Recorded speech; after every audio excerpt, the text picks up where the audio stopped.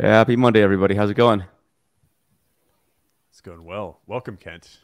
Hey, Hey, good to see you guys. Here. Yeah, good Yeah. to see you too. How's it going? Very good, very good. Nice, Cool. uh, breezy Monday morning here and uh, in Galveston on the island. Nice. It looks You're, very uh, it looks looks pretty there. So Oh, it is. It's it's, yeah, it's a, a great place to be. So even even when it was you know 90 to 100 degrees this summer, it was still pretty nice down here. As long as you got a nice little ocean breeze and uh, some tropical uh, beverages, we're we're good to go. that's awesome. Well, cool. Um, I guess for people who don't know who you are, do you want to give a quick intro? Sure, sure. Kent, Kent Graziano, um, also known as the Data Warrior.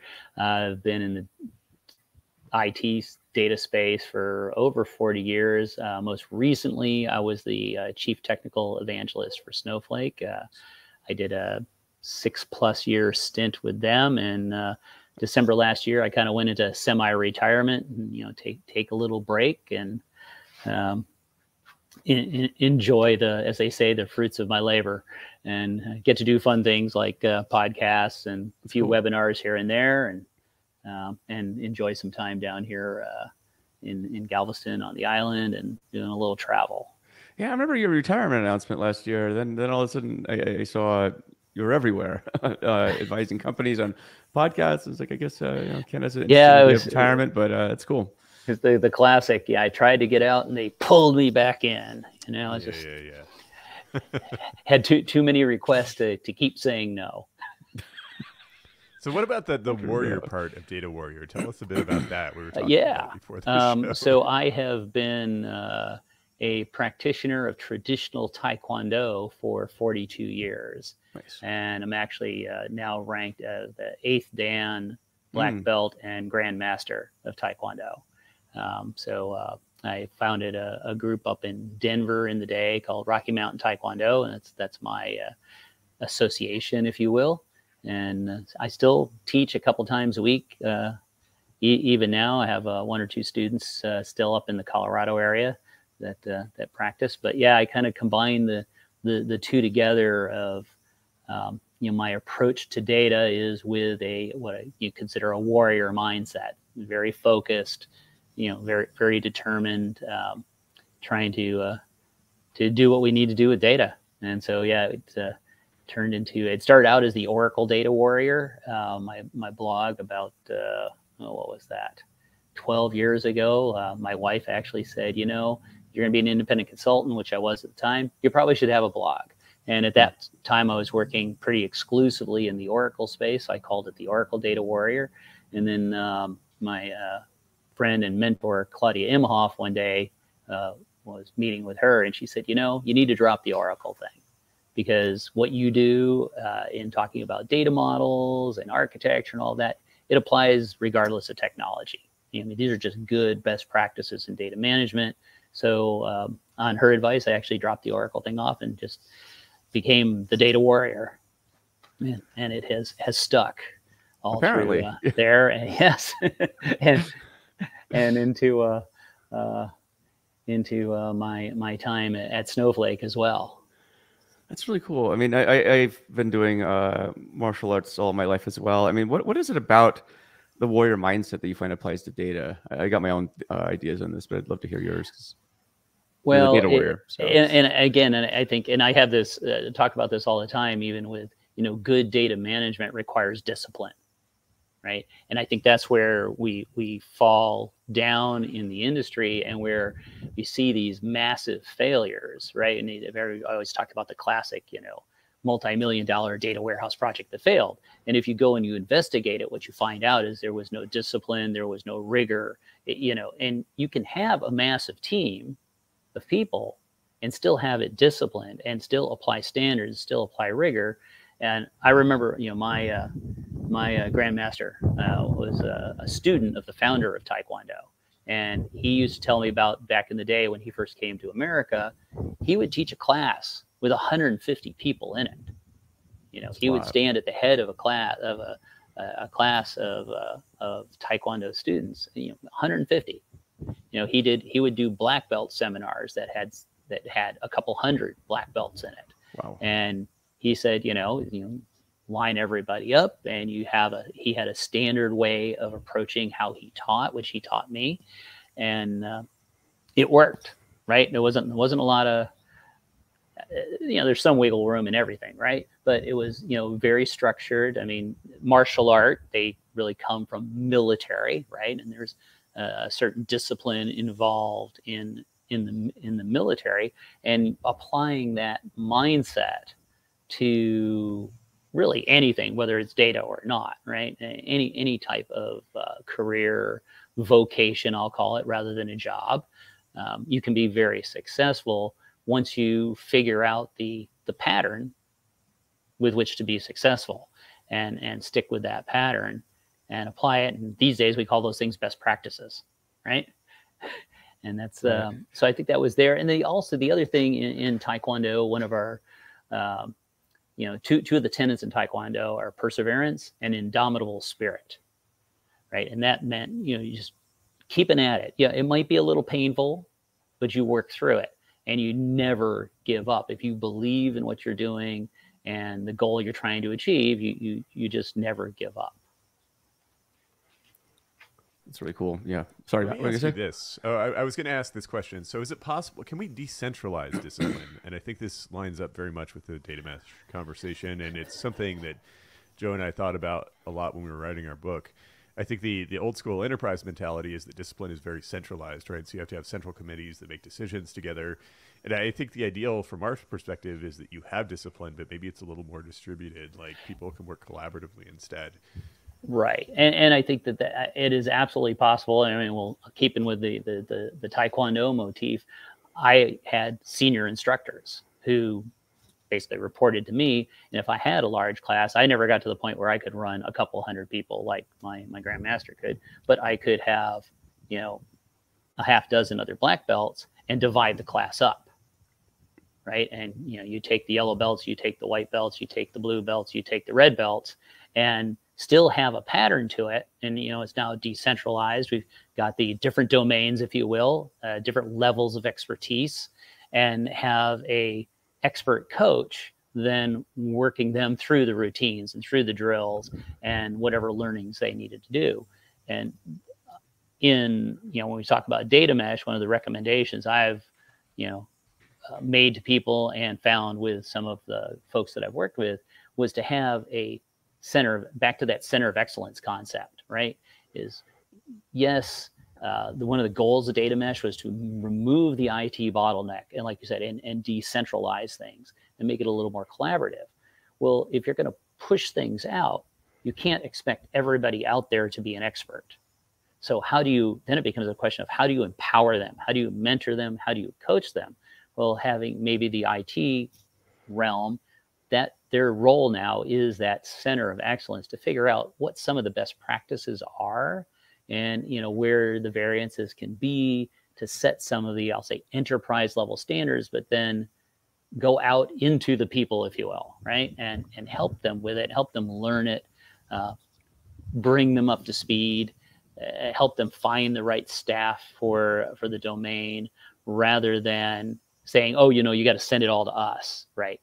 We'll we'll we'll figure it out for you no we don't want to do that we want to it's the it's back to the uh, you know, teach, teach fish, right?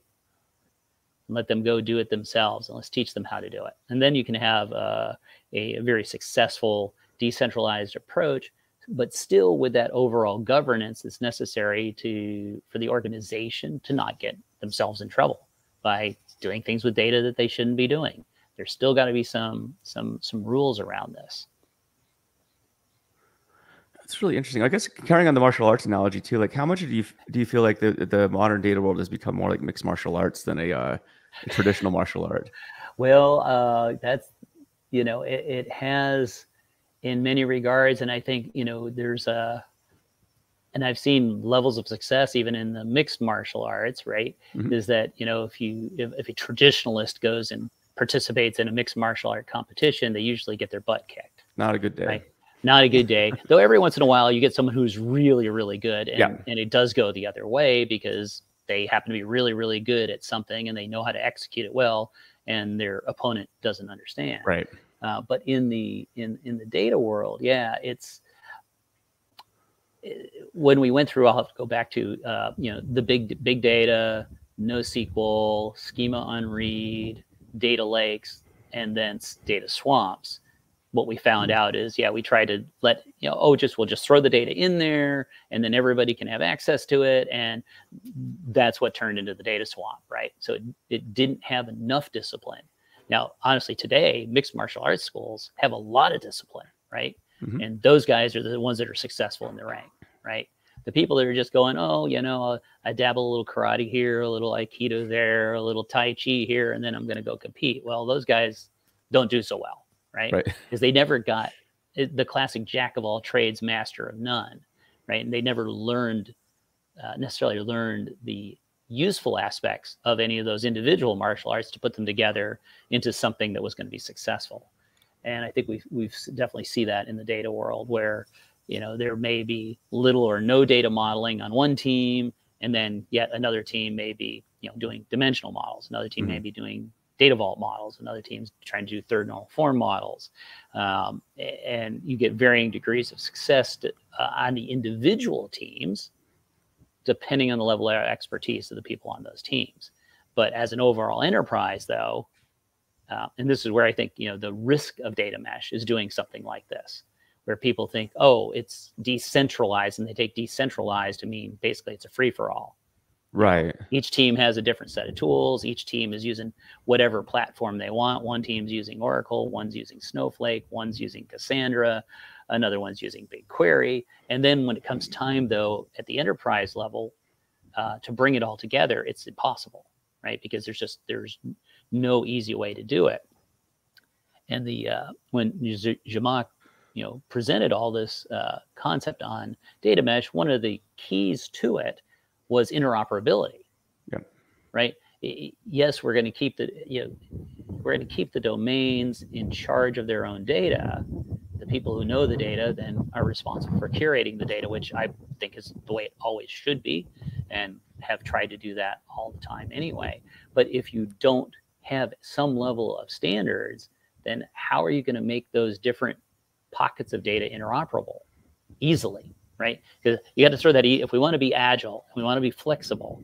It has to be fairly easy to do and easy to navigate. And you know, you guys in um, all your discussions and work on data engineering, I'm sure you, you've seen that, right? This is, you know, there's a lot of different ways to do it, but if you're dealing with a big organization, if everybody's doing it a different way, it's not going to be easy to pull the pull it together. And you can say there should be an API on everyone, but there's different ways of building APIs and not every domain may have the expertise to access an API and understand how to pull the data from it. Um, so I think that's that's all there, and that's why I get back to I think you know some centralized level of discipline and standards is, is kind of important to be successful. Otherwise, you can have a data me- mesh, as I said, that turns into a data mess that you've basically got data silos, right?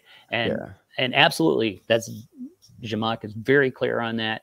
Yep. You know, that's what we're trying to we're trying to avoid that, right? It's like, you know, we're, we don't want to eliminate a quote unquote bottleneck in IT and replace it with a bunch of data marts because then we're back to where we were 20 years ago with federated data marts that actually couldn't be put together that you had you know each data mart had its own customer account. And then the CEO's going, well, how many customers do I have?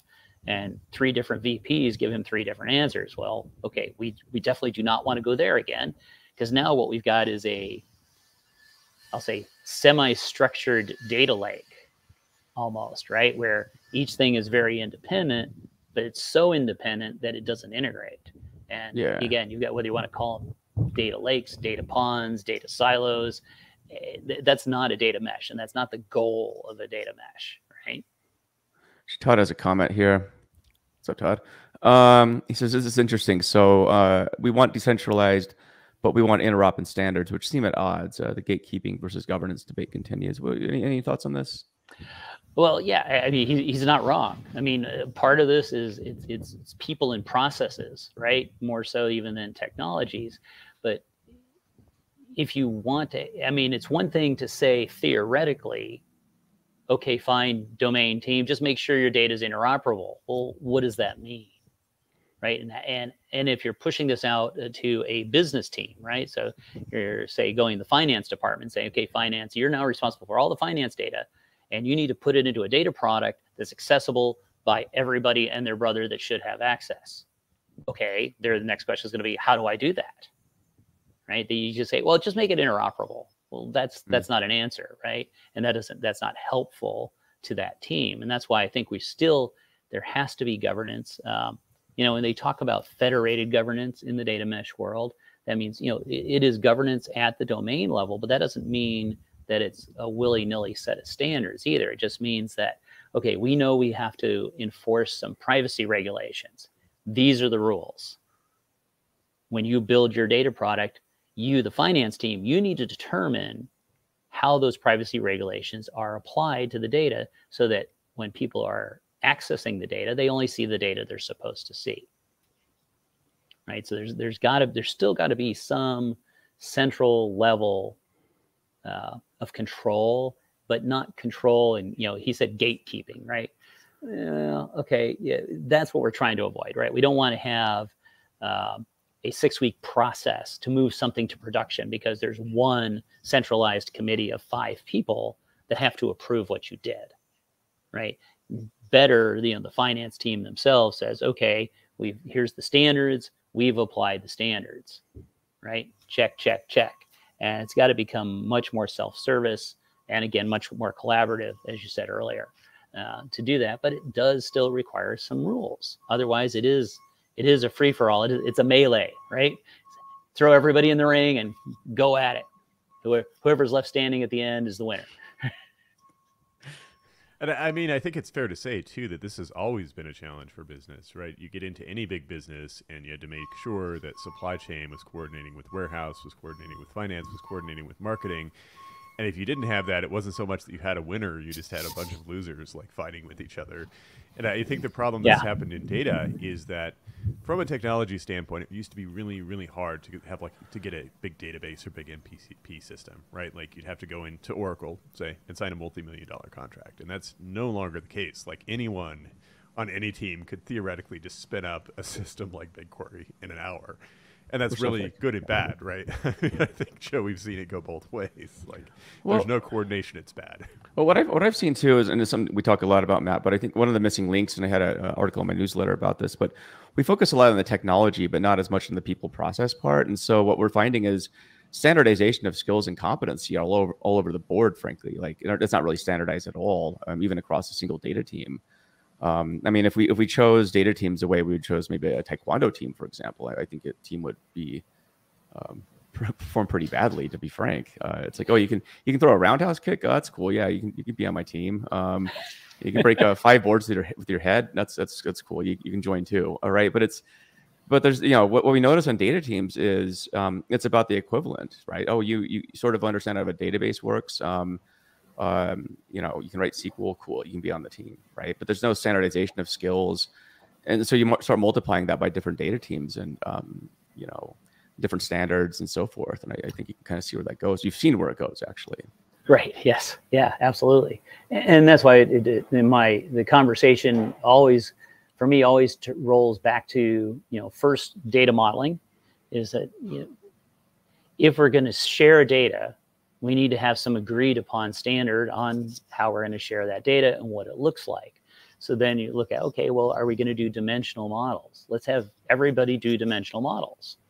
All right, well then, okay, then somebody's somewhere, somebody's got to be responsible for figuring out what the conform dimensions are. Mm-hmm. Uh, or do we do data vault, right? Um, you know, data data vault has the great capacity because it's such a granular level to model separate subject areas, but still allow them to be linked together. And that you know seems to make a lot of sense to me from a data mesh perspective because it is a network, right? A, a data vault model, if you look at it, is really it's a bunch of hubs and links. Which means so you can have the customer data over here and the finance data over here, but okay, there's a relationship between those two that maybe neither domain really is responsible for, but it's more of an enterprise thing. So you can build a link to join those together, and now you have a um, a language with which to interact between those data sets uh, that that allows it to be built in a more incremental, agile way. But key to it is, and I've always said this with standards, is like, I don't care what standard you pick, just pick one. Yep. Right.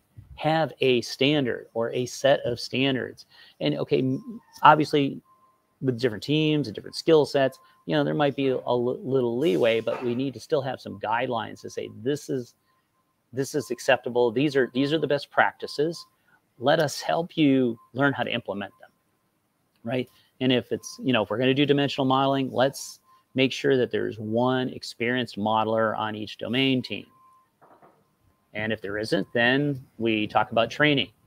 You know does the center of excellence provide some training or do we send everybody off to uh, kimball university if we're going to do data vault we send them off to be data vault certified and that way uh, when i first got into data vault I took my entire team. I took the, the project mm. manager, the report analysts, the report writers, the ETL programmers, and the DBAs, and we all went to the Data Vault class together because then that gave us a common language to work together as a cohesive team, right? And everybody was able to understand what we were talking about um, in, a, in a meeting, and we were able to help each other. And that was a very successful model. And if we do this across teams, right, you know, it doesn't do any good to have one team completely trained up on dimensional modeling and they're experts at type two slowly changing dimensions. And then the other team just knows third normal form and another mm-hmm. team knows data vault because, you know, one's talking hubs and links, one's talking facts and dimensions, and the other's talking entities and relationships. And okay, now how are they going to collaborate? Right. Right. They're not speaking the same language. We'll kind of and bring that, it back to the MMA example too. It's kind of like one guy knows karate, the other knows, um, you know, wrestling. The other, I don't know, knows uh, kung fu. Kung fu, sure, right? But you know, in the in the modern world, you know, what, what works is to kind of appreciate all the above and take what you know. I think have a standard that works. Um, um, you know, maybe through combining a lot of these two. So. Well, and that, that was yeah. uh, Bruce Lee's philosophy that formed Jeet Kune Do. Yeah. Mm-hmm. Yeah. yeah, he went. He trained with masters in every discipline. Yeah, and and in the end said, you know, this is what works for me personally as Bruce Lee. I can I can use these things. Maybe maybe Joe, you can't use the stuff from um, from judo. Right. That you're better off using aikido and kempo. Uh, but that part of it is, is is figuring out what works. And I think mm-hmm. you know we'll back to our our data world is organizationally yeah. Again, people and processes. What's going to work for our organization? What's going to help our organization achieve our goals? Of course, first off, do we know what our goals are? Oh, let's do a data mesh. I remember Claudia telling me one time she was on a flight with someone who, uh, you know, was you know, guy was reading CIO magazine sitting next to her at the plane, right? And of course, he turns her and says, "So, I, I think we need one of these. I think I need one of these Hadoop thingies." Mm. Right. Well, why do you think you you need Hadoop? Well i'm just reading all these articles that say that that's how we're going to be successful is big data and hadoop. And but he didn't know why he needed it other than other cios seem to be saying that's what you should do. And i think that's key is if people are going to look at data mesh why do you want to do data mesh? What problems in your organization uh, do you think this will solve right? Um, and i do that it, folks that are always asking me about data vault should we do data vault or not? I say okay well what are you doing today for data modeling? What are the pros and cons? You know what's working what's not working? What do you think uh, switching to data vault will do for you?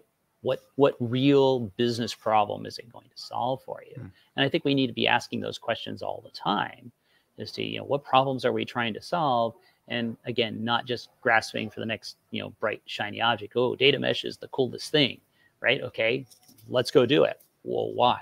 Why are you going to go do it? Uh, it, it may be the right thing for your organization it may not be.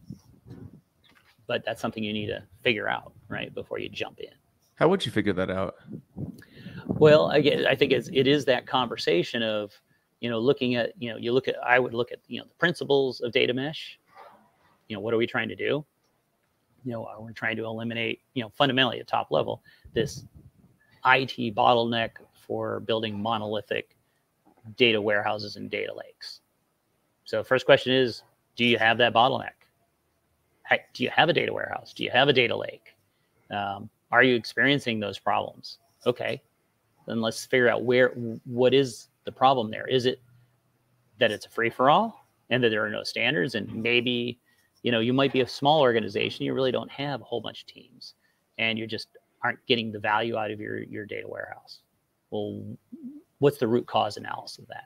Is it is it because there's no discipline in the approach? Hmm. um, um, is it is it is it purely a tools thing that you're using outdated tools? Like you're you're trying to do petabytes of data still on prem and you haven't moved to the cloud yet. You need to think about doing something like like going to snowflake uh, and maybe that would would help out uh, but really before you start thinking about changing your architecture i've done done this in my consulting for you know decades now. You're always looking at the as is and the to be right? Well do you really know what you have right? You're, you're have you identified you think there's a problem okay what's causing this problem? Is it because of some little thing you're doing? Is it because of some tools? Or is it because your team isn't functional okay well what can we do to make the team functional? Going from traditional data warehousing to data mesh is not going to make your team more functional right? Just because you switched. Any more than you know going from oracle to snowflake is suddenly going to make you more successful. Right. Right? You know you've, you've got to know what problem you're trying to solve in order to in order to get there. So i think that that analysis has to be done. Um, some of the uh, folks that I've, I've worked with uh, via snowflake uh, roche diagnostics in switzerland is a very very successful data mesh story. Well they brought Zhamak in to consult with them on data mesh and some of the people processes stuff how are we going to organize the teams. But then they also took uh, an incremental approach. They they as a they had a core team that they figured out how to do it and they figured out the standards basically and, and built a little data domain and uh, figured out uh, a good way figured out the tools and the platform they decided to use snowflake and they decided to go with data vault modeling and they, they did a number of things there and then little by little then they started bringing up new domain teams over time and so their mesh is growing it's again like everything it, cool. you know, don't boil the ocean, right? It's it's not a big bang. Uh, let's take some of the concepts from Agile, right? Let's let's do it incrementally, a little at a time. Uh, you know, you have to have the organizational support, right? That says the business team is now responsible for the quality of the data, and the business teams have to be in agreement that yes, we're going to take responsibility for the data. We're not going to throw it back at IT and say, oh yeah, our data's our data's garbage. You guys figure out how to clean it up, right? because that's the thing that really doesn't work, right? Because you still got to tell us, well, what rules do we use to clean it up? How do you tell us that you're telling us it's bad data? Well, how do you know that it's bad data? You know, and, and what would you do to change it? And is changing it in the reporting environment really the right thing to do, or can we go back to the operational systems? and that's you know my mind your data quality feedback loop should always be going back to the operational if it's if garbage is coming out of the operational systems then how are your daily reporting and your daily decisions of any value if you're now telling me that that data is garbage, right? So it loops back and back, back and forth all the time. So it's it's all it's all dual in the right circumstances with the right mindset, right? That we're going to solve a problem and then figure out the most efficient way of solving that problem. And it might be data mesh and it might be data vault and it might be Snowflake might not be any of those things. Might be data swamps. Maybe that works for you. yeah, well, probably not. but yeah, yeah, potentially. You know, it might be. You know, maybe maybe uh, the maybe Hadoop is working. Maybe is working for you. It's just the way the data is organized, or maybe it's the way the teams are organized, right? And and the responsibility, or maybe there's just no data governance, and that's what you really need is some data yeah. governance to say, you know, these are the rules on how how and who can access the data, right? Or maybe it's just standardizing and saying, you know, uh, we're, we're, we're, we're using DBT, we're using Matillion, we're using Informatica, we're using native SQL, we're using all these different things. Well, let's let's trim it down a little, right? And then you don't have the the issue of um, you know the, the different skill sets that you referred to earlier joe it's like you know who who knows what oh my gosh the the matillion thing fell over. Well, the one guy who knows Matillion's on vacation. Okay, that's kind of a problem. Yeah, you can't have an agile team if you have one individual or two individuals who know very specific things that because if they're out, then everybody's offline, right? And that's a different kind of bottleneck. Matt, any thoughts? So, to what? So, let me ask about Roche. I don't know if, how much you can talk about this, but but to what degree are they centralizing? So, are they still trying to maintain like a centralized data warehousing layer on top of the data mesh, or is it pretty much we provide leadership and you guys are responsible for presenting the data for everyone to everyone else, and that's it? Yeah, um, I don't know if they're doing still doing a centralized data warehouse. I don't think they are. They said their their culture has always been very decentralized, and, uh, incidentally, they're going to be talking about this at Big Data London next week in London. So anybody who happens to be in London going to Big Data London, you might want to go find a couple of the Roche sessions um, and and listen to what they're what they're doing and how they're doing it. But in part, um, they're using Snowflake and they're using the Snowflake uh, data sharing and data marketplace features. Mm, yes. Right. So they're they're able to, and one of the rules of data mesh is you've got to the data's got to be discoverable, right? It's got to be interoperable, great. But if you can't find it, then it doesn't matter if it's interoperable. So uh, that's why they ended up, you know, standardizing on, on Snowflake is because they had that data sharing and data marketplace features, so that the different te- domain teams can produce data products, which is you know basically a curated data set, and expose it to other other departments who can then you know apply to use that data and then connect it very easily because with the Snowflake data sharing, it's just it's a join. It just looks like another database that you have read access on, and so that's what they've they've done in order to be able to share data across the organization between the teams. Yeah, no, that's great. And I mean, one thing I'll say is that I think data sharing is still, a, a, for most organizations, a very much underappreciated capability. Um, I still hear people talking about APIs, and I'm like, okay, APIs are great for like application integration and such. I think on the analytics side, they've proven to be kind of a disappointment. Like API integration for analytics is really, really complicated, and that was fine before we had capabilities like data sharing. But now it's like time to start adopting, whether you're using BigQuery or Snowflake data sharing. Right. It's just absolutely the way to go. It makes life so much simpler. And, and we're dealing with much larger data sets than yes. what APIs were ever designed yep. for. Exactly. I, I, had experience very early on, back oh early 2000s. Um, we were trying to uh, had some folks that wanted to expose data via a web API. I forget what they were called at the time. It was in the Oracle world, and you're using Oracle's web apps, and it was things like in this case it was a public school, and yeah, if, if you had a student ID, you could easily build something that you know you input a student ID and it spits out the basic demographics about that student.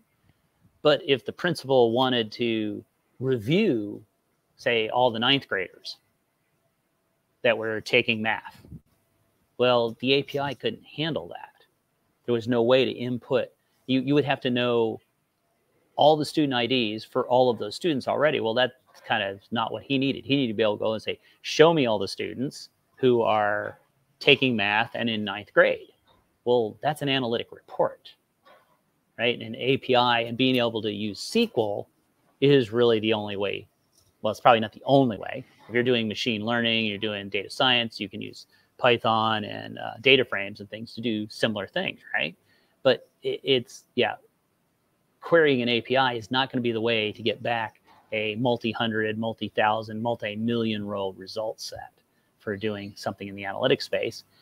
And I think that's probably, you know, one of the, I think, nuances of data mesh that people sometimes miss is that data mesh is designed is specifically to solve problems in the analytics space. It's not for right. operational data. And I know a few people have gotten off on that a couple of times. I've talked to them. They're like, "Oh, we're going to do this and this. We're going to use APIs." It's like, what are you talking about? they, they missed that part. They missed that in the in the original papers. It's like, no, this is for, we're just talking about analytics. We're talking about making a better world than what we've seen in uh, the big data warehouse space and the uh, data lake space is we're trying to solve some of the problems some organizations have. And that's, you know, as soon as you say data warehousing and data lake, you know, we're talking analytics. We're not talking operational.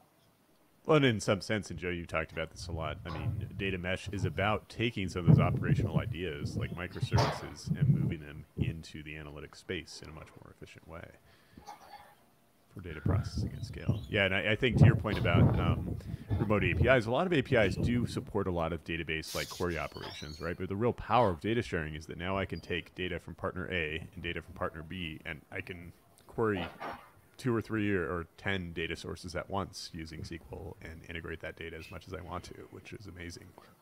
Well, and the data is updated yeah, as it you know Right. is updated, and you don't do an API pagination or any of this stuff. I mean, that's a, Right. for. I mean, Todd has a really good point here, as he usually does. Um, and the web has definitely started thinking about uh, bulk data interop for a lot of. Yes. I mean, it's definitely yeah. true. It's a shoehorning in a convenient way of getting data. But I was, I was actually we were talking uh, to Zhamak about this too. But it was like you know I think on our uh, podcast we did with her um, a few months ago. But you know it, she, she's right. Maybe there's we have to rethink sort of how we've uh, been integrating data as well. Uh, I think we're trying to shoehorn in tools that just aren't appropriate for what we need right now. So data sharing is definitely uh, a Right. forward in this direction for sure. Yeah, and and I know some of the, her initial writings and diagrams. She was drawing analogies to microservices. Yeah. Right. And a lot of people said, "Oh, okay, this is we do microservices with data." And like, no, no, I, No. that's not exactly what she meant. And I think if you if you look at it again, you have to take a, a couple of steps back and say, well, what were we trying to accomplish with microservices, and how do how can we do that with data? Is data sharing? Does that accomplish what we're trying to accomplish?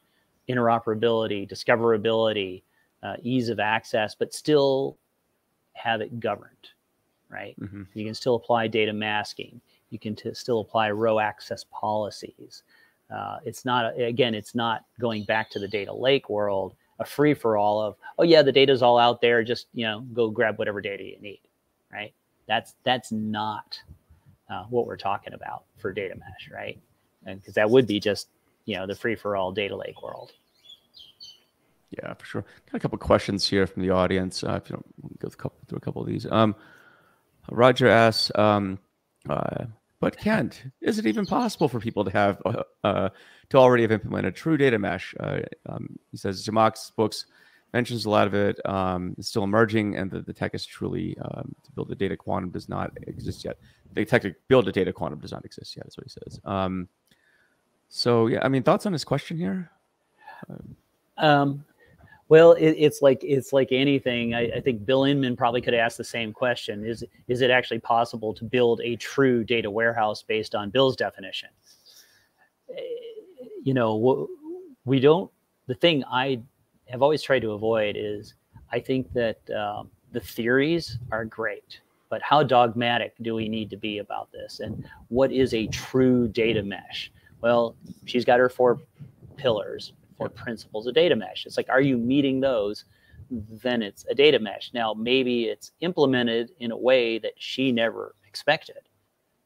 Right. And that happens with Yeah. every software company. Software companies, I mean, people are using Snowflake today in ways that Benoit and Thierry never envisioned. Sure. Doesn't mean it's wrong, doesn't mean it's bad. It just, you know, end users will do whatever end users do. So um, I think it's possible to implement a data mesh architecture using her principles with the technology that exists today. Does it meet 100% of everything she wrote in her book? Probably not. Then the question is, does it matter? Right. right? I mean, what she's given us is thought leadership and guidelines and guideposts to what we could achieve if we put our minds to it. That's the way I look at it, right? It's For sure. you know, what could, what could we achieve? And so that's the mm-hmm. questions. And and Roche, I mean, consulted with her and then went and did it in in Data Vault. I mean, Zhamak didn't really, I don't think, knew anything about Data Vault. She knew very little about Snowflake, but yet they've taken what she taught them and implemented it, and they're they're achieving success, right? And I think that's really the measure of success whether it's true data mesh or not is dependent on the organization and their goals and objectives. Are they achieving their goals with data? Are they uh, reducing the time to value of the data? Are they able to do it in an agile manner? Are the individual domain teams able to expose the data to other departments easily? Are they able to still have it governed under the appropriate privacy rules? Um, is it discoverable? You know, all of those questions. If the answers to all those questions are yes, it's wow, great. That's a success. Is it a true data mesh by definition? Maybe not. I mean, early on, Zhamak said, I don't think there are any technologies out there that can actually achieve my vision today. All right. Yeah, maybe not. But how close can we get today? I, and I tell there's no reason to wait just because it's not all there. Yep. Can we can we get value by getting 75% of the way there with the tools and technologies that we have today? And I believe the answer is absolutely yes. It just does require, as we started off the conversation, discipline, right? And it requires some rules. And that's what Roche has done. And I think that's why they, they've been successful. Uh, OneWeb is another one mm. in uh, in Europe. They've they're they're doing a data mesh as well on Snowflake and have been wildly successful as well. And so it is definitely doable uh, with today's technology. You know, can you do it with BigQuery? Probably. Can you do it with Azure DW? Probably. Can you can you do it with you know Cloudera? Probably I say probably all that. If you're good enough at the technology, because the the real question is the people and the yeah. processes, right? And how it's organized, the whole federated go- governance, all that. That's that's the thing that's really important. But it's often overlooked too, right? I mean, when data warehousing came out, I think it, you know, I, I talked to Bill about this. It felt like initially there was some backlash to it from what he was telling me. You know, um, I think it was uh, kind of a four-letter word for a bit, he, but he said it was a, it was like a snowball. You know, it just took time to you know get some success, get another success, and pretty soon, you know, it, it's popular, right? But it, I think people got to remember that wasn't always the case. You know, the same data mesh reminds me a lot of data warehousing um, with respect to its history, and I would say um, potentially some of the confusion around it as well. Um, so yeah, absolutely. And, and in the data warehousing world evolved. I mean, I the uh, first book that I did, I did with Bill and uh, mm. Len Silverston, the data model resource book. And the second half of that book was all about building data warehouse models from operational models. And Bill had at that time a great nine step process of how to take an enterprise model and convert it to a data warehouse model. Uh, and I became an expert at it. I taught it. I wrote papers on it and I implemented it. And then we would take that data warehouse model and build star schemas on top of it, which is, you know, hysterical, of course, because so many people think it's Inmon Kimball. It's like Bill was never against star schemas. Right. He was never, ever against star schemas. Um, but there was a process there. And when Dan Lindstedt then invented Data Vault, and we got talking with Claudia and Bill about that, it's like, okay, this is another way to model data that would be effective for analytics and for the, to build an enterprise data repository uh, at a more at, at still the granular level that Bill wanted to see it with his history. It applied all of Bill's theoretical rules for what defines a data warehouse. And Bill eventually said, okay, yeah, Data Vault is a good way to do this in the modern data world. And so these things evolve over time, and the understanding evolves over time. And I think we're going to say the same thing with data mesh because just because we're trying to solve problems in the quote unquote traditional data warehousing world doesn't mean we throw everything out, right? right? We don't need to throw out the modeling techniques. We don't need to throw out the tools. We just we need to organize differently. We need to be more in line with the business, uh, which of course Agile promoted that, right? Said daily meetings with the stakeholders, the product owners, the business, whoever you wanted to call them. I mean, this is the same thing. You said we're just going we're pushing the responsibility back to the business, but we're going to empower them now, right? They're not just kind of a consultant to us, they're part of the team. And that's, I think we've, we've always needed that. And I think everybody in IT agrees for the last 40 years. It's like IT and business need to talk to each other better, right? and data mesh is just is another way of encapsulating that concept and and emphasizing it and saying you know this that doing that solves these problems for your organization. And that's really what we're we're trying to do. It's interesting. Um got a couple questions here. I'll start with the one from mauricio. Um he asked what factors would influence the, the decision to move to a data mesh approach. Sort of hit on this, but it's a bit of a there's a bit of subtlety to this too. Yeah, I, I think it's number one is is your current approach not working? Top of the line, right? Is you know is it's you know, if it ain't broke, don't fix it. Don't care what technology you're using, what approach you're using. If you're achieving your business goals, okay, then there's no reason to look at data mesh just because data mesh is sounds cool, right? That that's the, that's the first thing. Is you know is there something that's not working right? Uh, then you look at the organization size as well. I, I think I don't think data mesh is going to be applicable to very small organizations. You know, if you're an organization that's got, you know, one, you know, a couple of data engineers and a couple of analysts, well, they can collaborate together just fine, right? They don't, you don't need to be talking about finance versus HR versus this domain versus that domain when that's the size of your organization. Um, are you, if you're globally distributed, on the other hand, and you have teams all over the world, okay, then data mesh might make a lot more sense because of the geographic differences and the time zone differences. And if that if that has been a problem for being successful, and I'm always going to come back to, you know, is it a problem? You know, the mm. factors you need to look at is where are your problems? Where are your bottlenecks? And uh, can you reorganize in a way that actually solves those problems without creating other problems. That's interesting. Why do we get it backwards so often? Why, why is it that we try and uh, try and uh, you know start with the uh, the end in mind to quote Stephen Covey, but you know, um, um, and that, that always seems like to me, uh, data mesh. It seems like a you know, it, it's great. It also seems like a utopian ideal, um, which maybe is part of the point.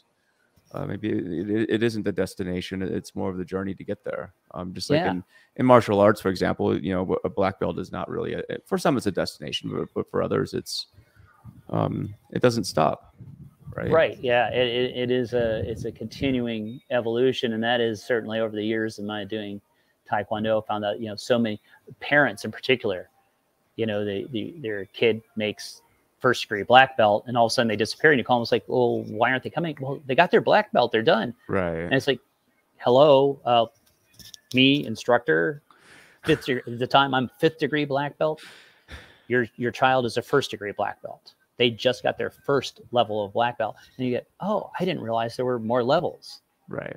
Right? And it's yeah it's it isn't a destination. It's like well i just wanted my kid to get a black belt. We're good. We're going to go play soccer now.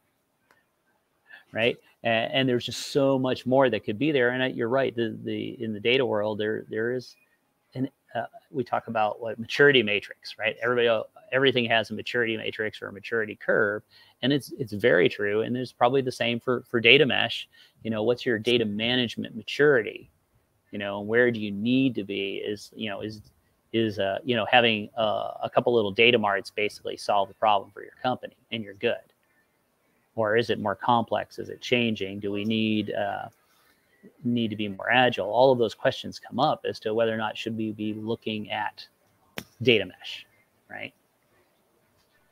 I, I think part of it too is that it's there's this human tendency to look for magic bullets, right? Um, hard work remains hard work, regardless of whether you happen to be working on traditional data warehousing or data mesh, and so it's always easier to like reach for that shiny object. And so back in the Hadoop days, it was like, oh, Google's doing this, Yahoo's doing this. Therefore, if I just imitate them and do this really cool thing, this magic bullet, then I'm going to be really, really successful. Completely ignoring the fact that Google did this because because of their success, right? It was more a consequence of their success than a cause. Yes, it helped them to keep scaling, but a lot of companies adopting Hadoop just didn't didn't have those problems. Had a bunch of other problems they should have been addressing instead. Yeah, and I had a, a CIO that I worked with, you know, a couple decades ago. We went through that same thing. Is they, the question we were using HP and HPUX and, and Oracle on that, and they were looking at, you know, should we go to Linux? And I said, well, why?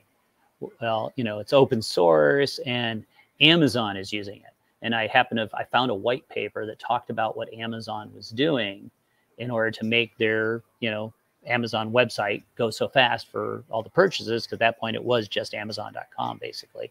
And it was like, okay, they've got 900 servers. They've got 30 or 40 Stanford PhDs modifying the kernel code in order to make it work. And every month they are replacing tens of servers because it's always aging out. And I, I had to go back. And He's like, "Well, how are they making it work so fast?" And it's like, they have this many servers, uh, they have this many people with PhDs from Stanford, and that's how they're making it work. And they're not using out of the box Linux. And he went, "Oh." And I said, I don't think we're going to be able to fund it to that level to get better results than what we're getting today with HP and HP support was great. Our system administrators knew it inside and out. He's like, yeah, yeah, okay, yeah. I think we'll we'll we'll stay where we are. But it was that it was the the bright shiny object thing. Is like, hey, saw something in CIO magazine about open source and Linux, and you know maybe that would be cheaper for us if we drop the proprietary HP UX. It's like, yeah, you got to balance it all out. But uh, we do have that, and I think uh, with data mesh, we have a lot of people talking about that. Uh, one of the things that uh, I think uh, we're seeing, and one of the things that uh, I think some of Zhamak's comments have been to this, is just like with data warehousing, and Bill will talk to you about this as well. Um, vendors are picking up the data mesh mm-hmm. terminology, and that's what we have. That's where we've got to be really careful as decision makers and saying, you know, just because, you know, no no tool or technology is data mesh, right? Data mesh is a concept, it's an architecture, maybe you would call it a framework. And there, you're not going to have one tool, one vendor is not going to be your data mesh solution. They may, we could switch over and start talking about data fabric. It may be part of the data fabric that you use in your data mesh solution, but they're not a data mesh tool. Can you use, you know, can you use Snowflake to help implement a data mesh? Yes. Can you use Matillion? Yes. Can you use DBT? Yes. Can you use Coalesce? Yes.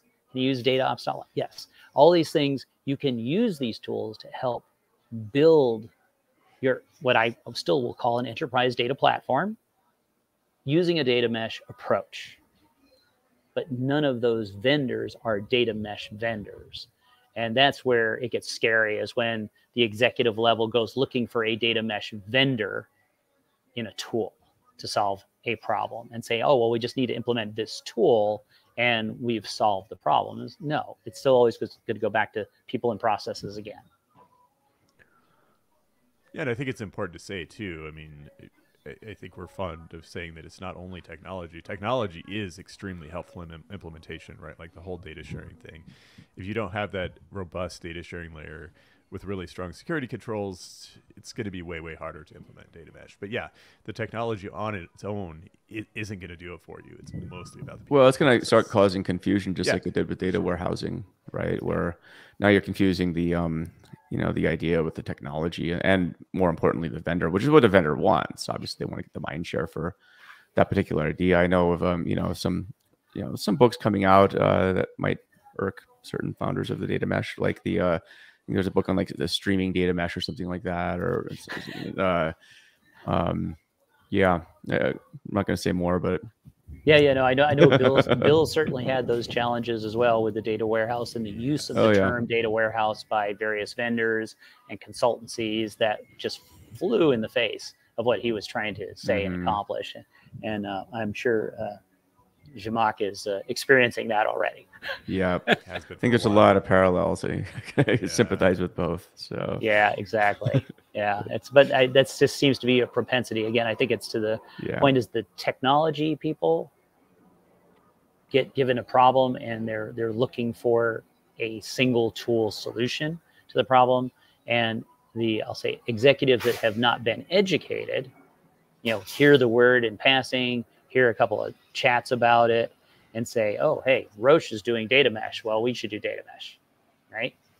Without really understanding the ramifications and saying, so what, what tool do we need to do? Well, you know, and what tools are, are Roche is Roche using? Not that their architecture is not a good starting point to look at, but it isn't one tool. And it's not, you know, tell your IT people to go buy these tools and then they can build a data mesh any more than you can say, thou art agile which right. was places where that happened. It's like, oh, we're, we're going to go to an agile methodology. Great. So when do we go to training? Oh, you no training. You just need to start delivering stuff in two weeks. That's pretty funny. It, it does remind me a lot of, um, you know, I, I think the term that has been most abused in the 2010s has been uh, AI. Yeah. So, um, you know, that that when it came out, I mean, that, that well, came out a long time ago, but it had a very sp- specific meaning. But then you start seeing AI was in everything, and when you look under the hood, it was basically um, addition and subtraction. You could call that AI, I suppose, too. Um, but uh, yeah, I got this abused um, to the point where I, I don't even know what it, it means in the modern context, especially when you're talking about tools. So, Yeah. yeah, Yeah, and as, again, yeah, a, I had a friend who always said a uh, a bad architect with a good tool is still a bad architect, Hmm. right? Yep. the tool does not solve the problem. It is the approach and the people and how the tool is used, and that'll get me, you know, back around to uh, saying, you know, if you're going to do data mesh, you need to look at data modeling. I mean, you just Yeah. you you've got to start at the business level of modeling too. You know, is what does the data mean from a business perspective before you worry about how many tables and columns and foreign keys are we going to have, right? Um, you know, we, we talked about this before the show. You know, there's a lot going on in the industry where people seem to conflate technical database design with data modeling. Yes. It's, it, it's a form of data modeling. We'll call it physical modeling. But for solving something at a large organization level, if you're going to have interoperability, you have to have agreed upon terms and definitions of, you know, for lack of a better term, we'll use it. The old days we called them entities. So, what is a customer? You know, what attributes belong to a customer? You know, what kind of uh, data are we going to ultimately expose? And do we all agree on the definition of what that is? Uh, do we all agree on the definition of profit? Do we agree on net profit versus gross profit? And, and building that conceptual level model with definitions from a business perspective first. You know, just taking a bunch of raw data and throwing it in a database and exposing it and calling it a data product. Well, okay, that's uh, you know technically you did something, and maybe some of that's useful to someone, but is it scalable? Is it uh, extensible? Is it going to be robust over the long term? If what you exposed, nobody understands the meaning of that data. Um, and I think again, back to the data lake, data swamp world, we saw a lot of that where loaded a whole bunch of files in, and what do we say? Data scientists were spending 80% of their time, you know, transforming, cleansing, basically understanding the data before you, you can't build a machine learning algorithm if you don't understand the data you're feeding in right? And what the definitions are. So it's really important to have that that level of understanding. And to me that's that's a data model. That is a model of the data. Uh, is it always in a diagram a lot of people like diagrams so you know th- those are useful but at least having what we used to call a data dictionary now you call it a data catalog right? What's a data catalog? It's the, the the business terms and definitions of the data that's available for analysis. And if you're going to do interoperability and do a data mesh you're going to need that so why not start with that right? And then you know look at the the the technical data that you're pulling out of your operational system and saying what what format do we put it in uh, to expose it to other domains? You know again those are all those are all models and all varying degrees of models and different levels conceptual logical physical. It's not just one thing but it is important because it is the means by which we communicate. That's awesome. Cool. It looks like we're coming up on time. Um, Kent, uh, thanks for being on the show. I'd love to have you back on sometime. I feel like we could probably talk for hours about this and uh, maybe, over, Absolutely. maybe over a beer or something. We will someday. So um, you're gonna be in a yeah. Any, anything you wanna want to promote? Uh, you mentioned Big Data London. You gonna gonna be out there for that? No, unfortunately, I'm not going to be able to make it to Big Data London, but uh, a couple of companies that I work with, uh, DataOps.live and SQL DBM, data modeling tool, Nice, are great going to be there. So, and of course, Snowflake's a platinum sponsor. And I don't work for Snowflake anymore, but I am a shareholder.